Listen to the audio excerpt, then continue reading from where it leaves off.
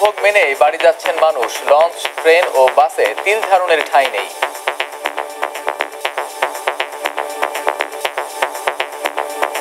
আগে যদি সাড়ে সাতশো আটশো নিত এখন বারোশো টাকা নিচ্ছে তারা নর্মালি ভাড়া তো এখান থেকে দেড়শো দুশো খুব বেশি হওয়ার কথা না।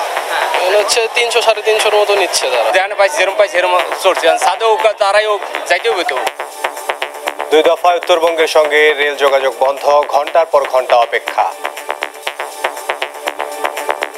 সেই একটা বাজে থেকে অপেক্ষা করতেছি ট্রেনের জন্য। আসছে আসছে বলতেছে। এই যে বলতেছে যে আসবে আসবে একটা বাজে ট্রেন লেট করতেছে। এটা তো লেট বলতে একটা নির্দিষ্ট টাইম দিবে না। এটা ভোগান্তি। এটা আসলে সবারই এটা বিষয়টা মানে একটু আমলে নেওয়া উচিত। টাঙ্গাইলে দীর্ঘ যানজট। দেখছিলেন প্রধান শিরোনাম। রাতের সময় সঙ্গে আছে আমি ইমদাদুল হক। এবং আমি কামরুজ্জামান মামুন। এবার অন্যান্য শীর্ষ সংবাদ। শেষ মুহূর্তে জমে উঠেছে কোরবানির পশুর হাট। ভারতীয় গরু না আসায় খুশি বিক্রেতারা।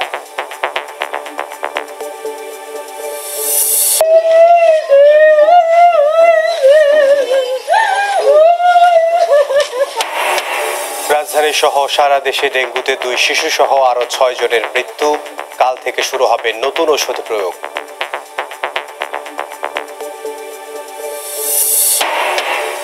এলোমেলো বৈদ্যুতিক তারে মৃত্যু ফাঁদ রাজধানীর সড়কগুলো বিদ্যুৎ বিভাগের গাফিলতি বলছেন নগর পরিকল্পনাবিদরা। উন্নয়নের নামে দায়ী সারা জবাব কর্তৃপক্ষের। এবং কাল পবিত্র হজ, ইহরাম বেঁধে দলে দলে মিনায় হাজিরা, ভোর পর্যন্ত অবস্থানের পর আরাফার উদ্দেশ্যে যাত্রা।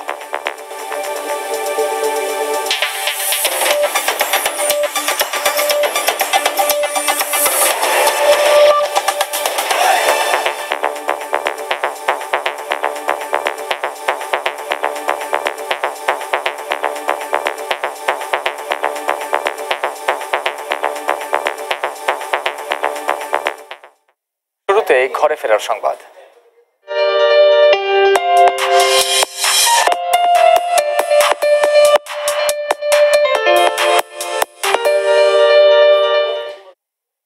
পথের দুর্ভোগ মেনে নিয়েই বাড়ি ফিরছেন মানুষ। সাত বোঝায় যাত্রী নিয়ে দেরিতে ছাড়ছে ট্রেন। রেলমন্ত্রী বলেছেন, দুর্ঘটনার দায় তার। এদিকে, বগি লাইন লাইনচ্যুতির ঘটনায় তিন ঘণ্টা বন্ধ থাকার পর উত্তরবঙ্গের সঙ্গে রেল যোগাযোগ স্বাভাবিক হলেও এর কয়েক ঘণ্টা পর। বঙ্গবন্ধু সেতুতে স্লিপার ক্ষতিগ্রস্ত হয়ে যাওয়ায় আবারও বন্ধ হয়ে যায় রেল যোগাযোগ। বাসে মিলেছে অতিরিক্ত ভাড়া আদায়ের অভিযোগ। প্রমাণ পেলে ব্যবস্থা নেয়ার হুঁশিয়ারি দিয়েছেন সড়ক পরিবহন সেতুমন্ত্রী ওবায়দুল কাদের। বগের ভেতরে নেই তিল ধারণের জায়গা। চেষ্টা তাই ছাদে ঠাঁই পাওয়ার। শিডিউল বিপর্যয় বাড়িয়েছে দুর্ভোগ। ভেতরে একটু দেখেন কি অবস্থা। মানে বসার জায়গা নেই। কত যুদ্ধই হোক বাসায় যেতেই হবে। আমাদেরকে কেন জানলা দিয়ে উঠতে হবে? অনেক এক্সাইটিং অনেক ওয়েট করার পর ট্রেনে উঠতে পারছি। রেলমন্ত্রী বললেন ঝুঁকিপূর্ণ এই যাত্রা তাই তার। এটা দিতে তো হবেই আমাকে। আমি যেহেতু রেল মন্ত্র রেল চালাচ্ছি তার দায়িত্ব তো আমার। এটা এটা স্বাভাবিকভাবে এসে যায়। এদিকে দুপুরে খুলনাগামী সুন্দরবন এক্সপ্রেসের বগে লাইনচ্যুত হওয়ায় প্রায় তিন ঘণ্টা পরে উত্তরবঙ্গের সঙ্গে রেল যোগাযোগ স্বাভাবিক হয়। দেরিতে ছাড়ায় বাস যাত্রীদেরও ভোগান্তির শেষ নেই। অভিযোগ উঠেছে বেশি দামে টিকিট বিক্রির। আগে যদি সাড়ে সাতশো আটশো নিত এখন বারোশো টাকা নিচ্ছে তারা। নর্মালি ভাড়া তো এখান থেকে দেড়শো দুশো খুব বেশি হওয়ার কথা না। হচ্ছে তিনশো সাড়ে তিনশোর মতো নিচ্ছে তারা। অতিরিক্ত ভাড়া নিলে এটা কিন্তু শাস্তিমূলক ব্যবস্থা নেওয়া হবে। বিআরটিসিকে আলাদাভাবে কোনো রেয়াত বা রেহাই দেওয়া হবে না। সদরঘাটে লঞ্চের ছাদের যাত্রী না হওয়ার পরামর্শ যাত্রীরা যেমন মানছেন না তেমনি তা মানাতে বিআইডব্লিউটি এর তেমন তৎপরতাও চোখে পড়েনি। জায়গা পাইতেছি না কিছু করার তো নাই। আমার ঈদ করতে যাইতে হবে। টিট পাইনি এখন যেখানে পাইছি যেরকম পাইছি সেরকম চলছে। সাদে হোক আর তারাই হোক যাইতে হবে তো। থাকতে কষ্ট হচ্ছে কোনো আলো বাতাসের কোনো ব্যবস্থা নেই? পন্টনে মোটরসাইকেল নিয়ে ঠোকা নিষিদ্ধ করা হলেও তা মানছেন না অনেকেই। ফয়সাল মোর্শেদ সময় সংবাদ ঢাকা। ঈদযাত্রার খবর জানাতে কমলাপুর রেল স্টেশনে আছেন রিপোর্টার তোহা খান তামিম। সরাসরি চলে যাব তার কাছে। তামিম এমদাদ, আনন্দের ঈদ যাত্রা আসলে বিষাদে রূপ নিয়েছে। আপনি আমার পেছনে যদি আপনাকে আমি একটু দেখাই, সেটি হচ্ছে যে হাজার হাজার মানুষ কিন্তু এই মুহূর্তে কমলাপুর রেল স্টেশনের যে প্ল্যাটফর্মগুলো রয়েছে, সেই প্ল্যাটফর্মে দাঁড়িয়ে আছে, কেউ বসে আছে। পরিবারের সদস্য যারা রয়েছেন, তারা আসলে বেশ ক্লান্ত হয়ে পড়েছেন এখানে এসে। কারণ তারা অনেকে সকালে এসেছেন, অনেকে দুপুরে এসেছেন। ঘণ্টার পর ঘণ্টা এভাবে কিন্তু তারা আসলে ঠাঁই বসে আছেন। পরিবার যে সদস্যগুলো রয়েছে, সেই সদস্যগুলোর সাথে নিয়ে। বিশেষ করে ছোট বাচ্চাদের নিয়ে যারা এসেছেন, তারা আসলে বেশি বিপাকে পড়েছেন। তারা আসলে একেবারে ধৈর্য হারা হয়ে গিয়েছেন। এর কারণ হচ্ছে যে, আমি যদি বলে থাকি যে, উত্তরবঙ্গের রাজশাহীগামী যে সিল্ক সিটি এক্সপ্রেস ট্রেনটি সেটি হচ্ছে দুইটা চল্লিশে ছেড়ে যাওয়ার কথা ছিল দুপুর দুইটা, কিন্তু এখনও পর্যন্ত কিন্তু সেই ট্রেন এসে পৌঁছায়নি প্ল্যাটফর্মে এবং স্টেশনের পক্ষ থেকে বলা হচ্ছে যে সম্ভাব্য ছাড়ার সময় এই ট্রেনটি রাত্রি দশটা পনেরো এবং আরও যদি ট্রেনের কথা বলি, অর্থাৎ খুলনাগামী, দক্ষিণে খুলনাগামী চিত্রা এক্সপ্রেস যে ট্রেনটি, সেটি হচ্ছে সেটি হচ্ছে সন্ধ্যা সাতটার সময় ছাড়ার কথা ছিল কিন্তু সেই সেই ট্রেনটিও বেশ কয়েক ঘণ্টা লেট সেই ট্রেনটিও স্টেশনের পক্ষ থেকে বলা হচ্ছে যে সেটি রাত্রি বারোটায় ছেড়ে যাবে।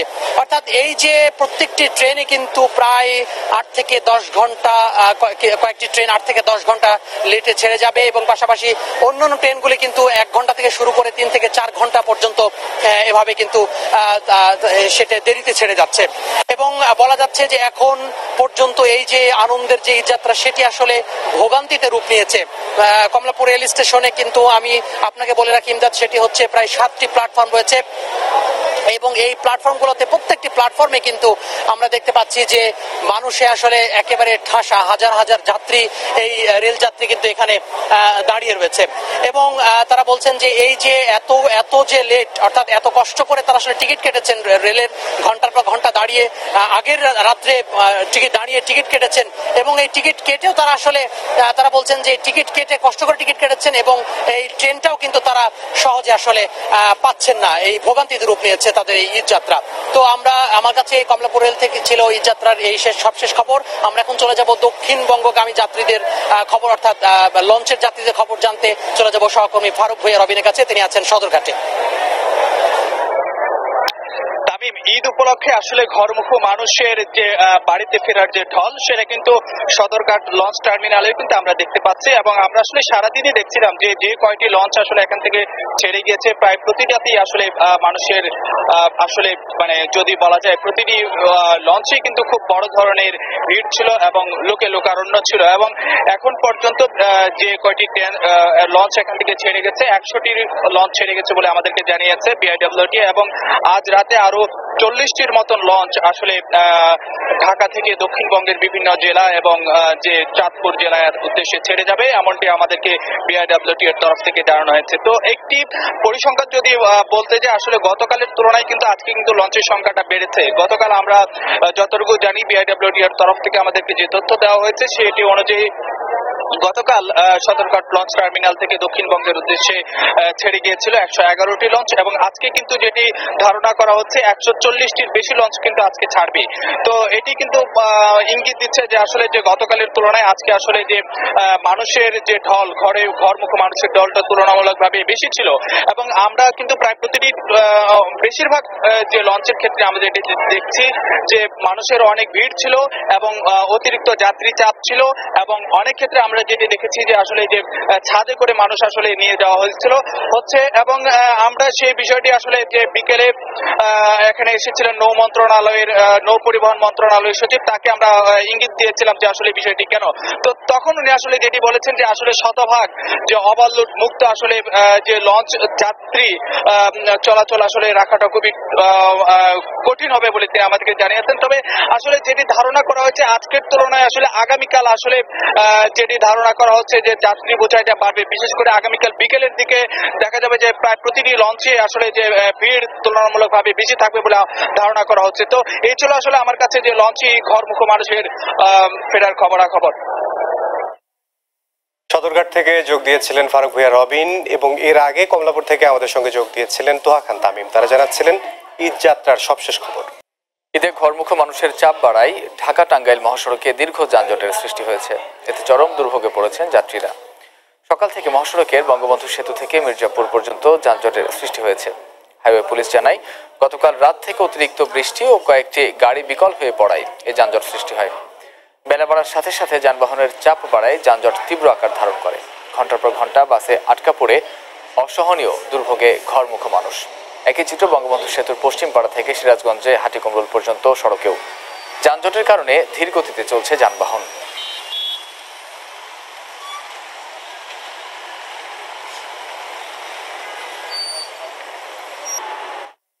রাতের সময় আরও থাকছে। রাজধানীর অধিকাংশ সড়কের মোড়ে মোড়ে ময়লার স্তূপ। জনবল সংকটের কথা বলছেন মাঠ কর্মীরা গাফিলতির অভিযোগ পরিবেশবিদদের।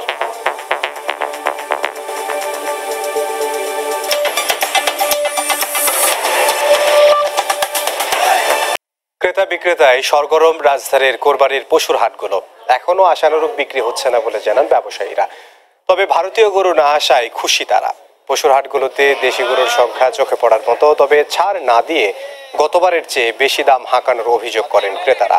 ব্যাপারীরা বলছেন, গোখাদ্যের দাম বাড়ায় পশু পালনে খরচ বেশি হলেও হাটে প্রত্যাশিত দাম পাচ্ছেন না তারা। দিন বাড়ার সঙ্গে সঙ্গে বেচা কেনাও জমে উঠবে বলে প্রত্যাশা তাদের। এখন পর্যন্ত ভারতীয় গরু না আসায় খুশি তারা। বাজার তো একবারে নন্দা। যেমন দুটা করে বেশি লসই এটা চাচ্ছি দুই লাখ আশি হাজার। এখন বলে এক লাখ আশি হাজার। এমন দাম বলে। কিন্তু বেচা কেনা ভালো হয় না। একেবারে ভালো না খারাপ- না।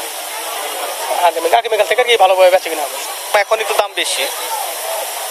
তো এখন একটু দাম বেশি আরও সময় আছে তো। হয়তো দাম কমতে পারে। আবারও মৃত্যু আবারও অকালে ঝরে যাওয়া।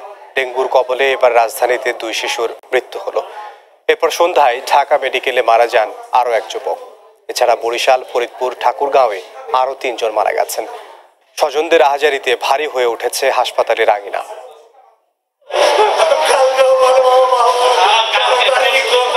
নিজ সন্তানের মরদেহ কাঁধে বহনের মতো কঠিন কাজ পৃথিবীতে দ্বিতীয়টি নেই। ঘাতক ডেঙ্গুর কবলে একমাত্র সন্তানহারা পিতার আহাজারিতাই গগন বিদারী।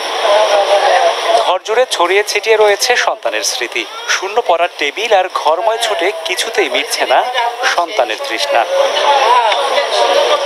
গত রোববার স্কুলে থাকাকালীন জ্বরে আক্রান্ত হয় তৃতীয় শ্রেণির শিক্ষার্থী মেহরাব। প্রথমে কুর্মিটোলা জেনারেল হাসপাতাল এবং পরবর্তীতে ইউনাইটেডে ভর্তি করা হলেও হয়নি শেষ রক্ষা। আমি ওরে স্কুলে নামাইয়ে দিয়ে অফিসে যাই। অফিসে ওর আম্মু নিয়ে আসতে গেছে দুইটার সময় গিয়া ও দেখে সিঁড়ির উপরে বৈশা কাঁপতে আছে। আমার বুকের মতো কোনো কোনো মার বুক খালি নয়। মেহরাবের অকাল প্রয়াণে হতাশ ও আতঙ্কগ্রস্ত প্রতিবেশীরা। আমাদেরকে সুস্থভাবে বাঁচতে দেন পরিবেশ দেন সেরকম বাঁচা ক্রমে বেড়ে চলা ডেঙ্গুর প্রাদুর্ভাব কমাতে ভূমিকা রাখবে কর্তৃপক্ষ। এমনটাই দাবি নগরবাসীর। রাশেদ বাপ্পি সময় সংবাদ ঢাকা। ডেঙ্গু নিয়ে রাজনীতি করে অহেতুক আতঙ্ক না ছড়ানোর আহ্বান জানিয়েছেন আওয়ামী লীগ নেতা অ্যাডভোকেট কামরুল ইসলাম। প্রধানমন্ত্রীর নির্দেশে এডিসের লার্ভা ধ্বংস করতে সাধারণ মানুষকে সচেতন হওয়ার পরামর্শ দেন তিনি।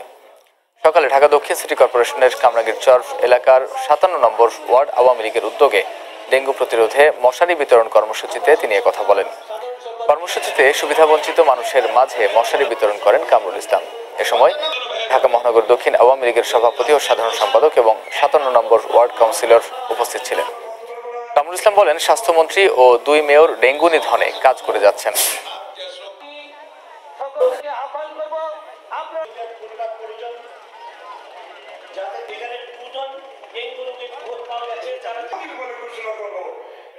এই কামনাগোচর এলাকা এডিস মশার কোনো লার্ভার অস্তিত্ব পাওয়া যায় নাই এবং এখানে কোনো এডিস মশা নাই। জলবায়ু পরিবর্তনের প্রভাবে আজকে এই অঞ্চলে, বিশেষ করে চায়না, ফিলিপাইন, এই মালয়েশিয়া, এই অঞ্চলে আজকে ডেঙ্গুর প্রকোপ সবচেয়ে বেশি হয়ে দেখা দিয়েছে। মাননীয় প্রধানমন্ত্রীর নির্দেশে সবাই আমরা কাজ করছি, সকল সংস্থা কাজ করছে, ঢাকা সিটি কর্পোরেশন সহ, এবং ডেঙ্গু নিয়ে দয়া করে কেউ রাজনীতি করবেন না। এবার পরিচ্ছন্নতা নিয়ে একটি রিপোর্ট।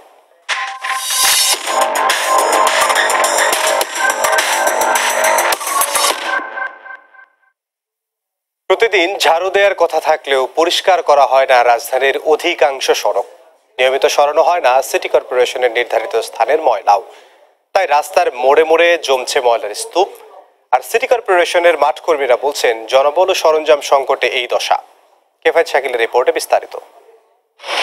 একটু আগেই কাজ করে গেছেন সিটি কর্পোরেশনের পরিচ্ছন্নতা কর্মী। অথচ এখনও আবর্জনায় ভরা এই সড়ক দ্বীপ রোজই পরিষ্কার করা হলেও ভাগার সদৃশ রাজধানীর জুরাইন গ্যান্ডারিয়া সড়ক। পুরো মাসেও মনে করেন আমি এই রোডটা কখনো ঝাড়ু দেওয়া দেখিনি। সময় সংবাদের এক সপ্তাহের পর্যবেক্ষণে নতুন ওয়ার্ডগুলো তো বটেই। এমন বেহাল দশা দেখা গেছে দক্ষিণ সিটির বিভিন্ন এলাকায়। উত্তর সিটি কিছুটা পরিচ্ছন্ন হলেও মোহাম্মদপুর মিরপুর ও কারওয়ানবাজার সহ কয়েকটি এলাকায় নিয়মিত বর্জ্য পরিষ্কার করতে দেখা যায়নি। মশা মাসি তারপর দোকানে বসা যায় না গন্ধে। নগর প্রশাসনের তৎপরতার অভাবে দূষণজনিত নানা রোগ ছড়াচ্ছে বলে দাবি এই পরিবেশবিদের সারা ঢাকা শহরে এখন মহামারী অবস্থা ডেঙ্গু। এবং এটা কোথা থেকে আসছে? এটা তো আসলে বর্জ্য ব্যবস্থাপনা এটার জন্য দায়ী। ডেঙ্গু নিয়ন্ত্রণে ব্যস্ততার অজুহাতে এ বিষয়ে কথা বলতে রাজি হননি ঢাকা দক্ষিণ সিটি কর্পোরেশনের কর্মকর্তারা। নগরবাসীকে যত্রতত্র ময়লা ফেলার ব্যাপারে আরও সচেতন হওয়া এবং নগর প্রশাসনকে আরও তৎপর হওয়ার পরামর্শ দিচ্ছেন বিশেষজ্ঞরা। কেফায়েত শাকিল সময় সংবাদ ঢাকা। রাতের সময় আরও থাকছে। জম্মু কাশ্মীরের একাংশে টেলিফোন ও ইন্টারনেট সেবা চালু। চলাচলে নিষেধাজ্ঞা শিথিল করা হলেও পরিস্থিতি থমথমে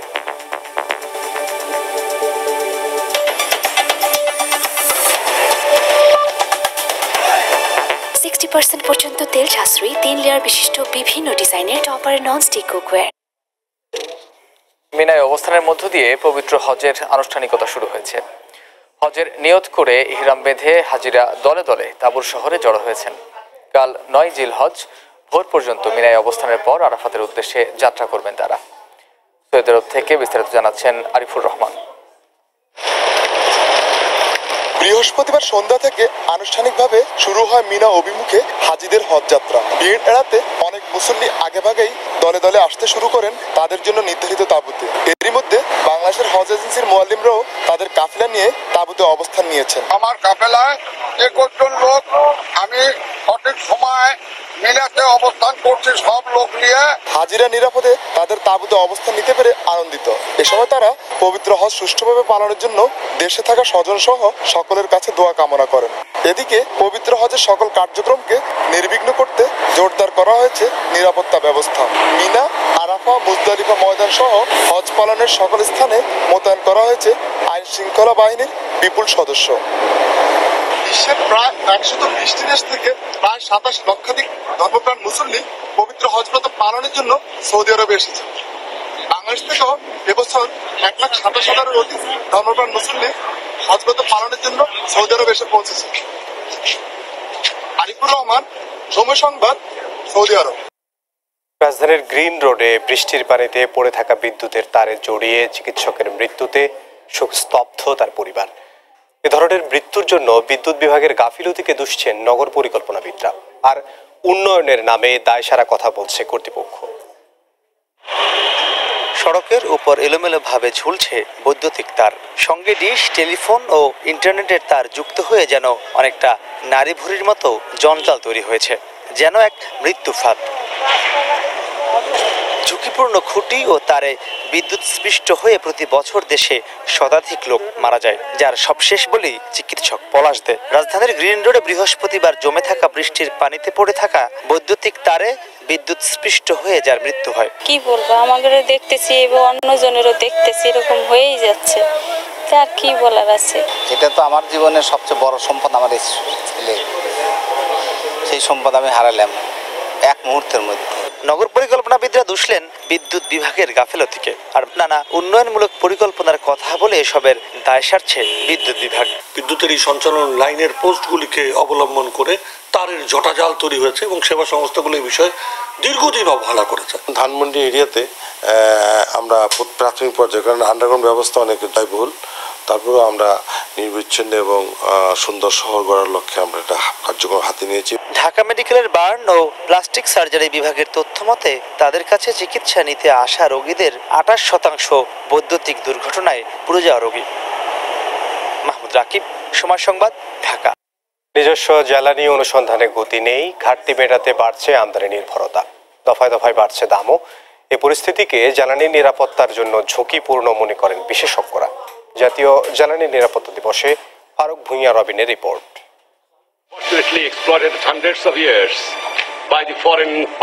নয় আগস্ট উনিশশো পঁচাত্তর সপরিবারে নিহত হওয়ার মাত্র ছয় দিন আগে ব্রিটিশ কোম্পানি শেলের কাছ থেকে নামমাত্র সাড়ে চার মিলিয়ন পাউন্ডের বিনিময়ে পাঁচটি গ্যাস ক্ষেত্র কিনে নেন বঙ্গবন্ধু। যে কারণে দিনটি পালিত হচ্ছে জাতীয় জ্বালানি নিরাপত্তা দিবস হিসেবে। সে পাঁচটি গ্যাস ক্ষেত্র এখনও যোগান দিচ্ছে দেশে উৎপাদিত এক তৃতীয়াংশ গ্যাসের।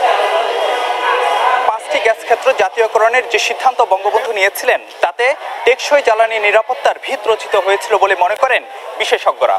তবে নিজস্ব জ্বালানি সর্বোত্তম ব্যবহারের সে নীতি ও দর্শন বর্তমানে ঠিক কতটা অনুসরণ করা হচ্ছে, সে প্রশ্ন থেকেই যায়। কম দামে সরবরাহ করার যে কৌশল গ্রহণ করা হয়েছিল, সেই কৌশলের বেনিফিট কিন্তু আজও আমরা পাচ্ছি। আজকের যে নীতি গ্রহণ করা হয়েছে, তা বঙ্গবন্ধু সরকারের নীতি এবং দর্শনের সাথে সাংঘর্ষিক।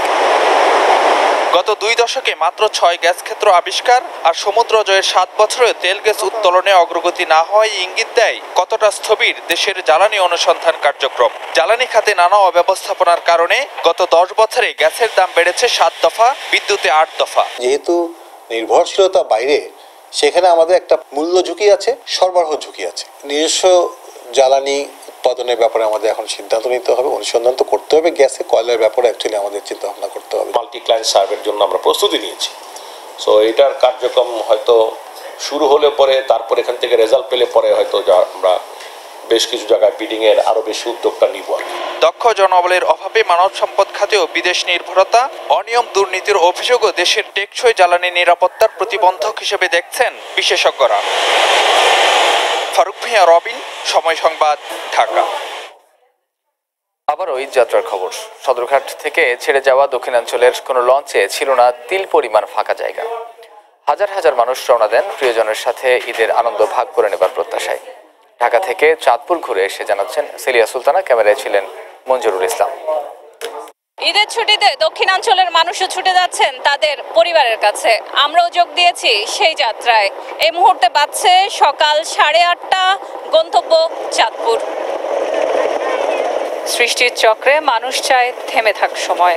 অথচ এই মুহূর্তে স্ববিরোধী স্বভাবে এই স্রোতস্বিনী নদী আর বহমান সময়টুকু পার হবার আকাঙ্ক্ষা প্রবল। কারণ নদী আর সময় যতই পেছনে যাবে প্রিয়জনকে দেখার সম্ভাবনা বাড়বে ততই বেশি।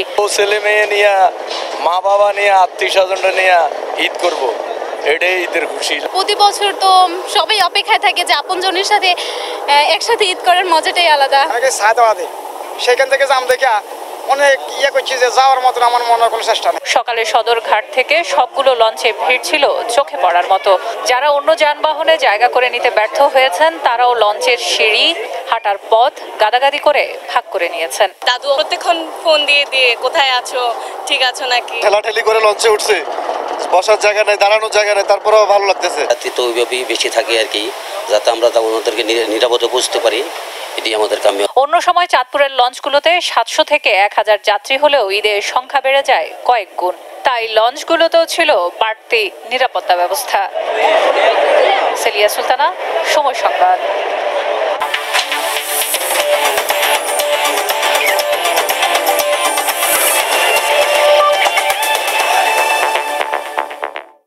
আফগানিস্তানের বিপক্ষে একমাত্র টেস্টের জন্য বাংলাদেশের চূড়ান্ত দল ঘোষণা হবে চলতি মাসের শেষ সপ্তাহে। তবে টেস্টে না হলেও ত্রিদেশীয় টি টোয়েন্টি সিরিজের দলে থাকবে চমক। এমনটাই জানিয়েছেন বাংলাদেশ ক্রিকেট বোর্ডের প্রধান নির্বাচক মিনহাজুল আবেদিন নান্নু। এদিকে পেস বোলিং আক্রমণকে আরও শক্তিশালী করতে পনেরো থেকে ষোলো জনের একটি পেস বোলিং পুল করার পরিকল্পনা আছে বিসিবির। প্রিমিয়ার স্কোয়াড একটা রেডি করে দিয়েছি, কারণ এর মধ্যে আমাদের কিছু খেলোয়াড় যেটা আমাদের প্রাথমিক যেটা ছত্রিশ জনের একটা স্কোয়াড আছে, এই স্কোয়াড থেকে আবার এগারো জন এইচপিতে খেলবে। কারণ শ্রীলঙ্কা আসতেছে ওদের এইচপি টিম ষোলো তারিখে আসতেছে। তো এদের সাথে ম্যাচ চলাকালীন সময় কিছু প্লেয়ার ওখান থেকে বেরিয়ে যাবে। তো ওভারঅল আমাদের কন্ডিশনিং ক্যাম্প শেষ হওয়ার পরে সাতাশ আঠাশ তারিখের দিকে মেন টিমটা আমরা অ্যানাউন্স করব টেস্টে টি টোয়েন্টিতে তো অবশ্যই থাকবে। টি টোয়েন্টিতে আমরা যেহেতু ভবিষ্যতে প্ল্যান করে যাচ্ছি যাতে এক বছর মাত্র সময় আছে ওয়ার্ল্ড কাপের জন্য। এটা তরুণদের জন্য একটা বড় সুযোগ। পনেরো থেকে ষোলো জনের একটা একটা পুল করতেছি, যেটা সারা বছর যাতে এরা আমাদের একটা ক্যাম্পে থাকে। এখান থেকে আমরা ডেভেলপ করে যাতে টিম ফর্মেটে যাতে আমরা প্রোভাইড করতে পারি। এ পর্যায়ে শীর্ষ সংবাদ জানিয়ে দিচ্ছি আরেকবার। পথের দুর্ভোগ মেনেই বাড়ি যাচ্ছেন মানুষ। লঞ্চ বাসে তিন ধারণের ঠাঁই নেই। দুই দফা উত্তরবঙ্গের সঙ্গে রেল যোগাযোগ বন্ধ টাঙ্গাইলে দীর্ঘ যানজট।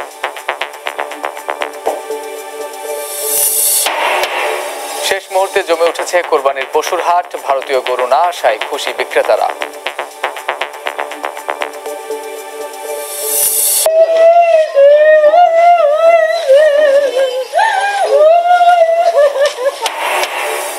রাজধানী সহ সারা দেশে ডেঙ্গুতে দুই শিশু সহ আরও ছয় জনের মৃত্যু। কাল থেকে শুরু হবে নতুন ওষুধ প্রয়োগ। কাল পবিত্র হজ, এহরাম বেঁধে দলে দলে মিনায় হাজিরা, ভোর পর্যন্ত অবস্থানের পর আরাফাতের উদ্দেশ্যে যাত্রা। এই ছিল রাতের সময়। আপনার মোবাইলের সময় সংবাদ দেখতেও সব খবর পেতে ডাউনলোড করুন সময় সঙ্গে থাকুন সময়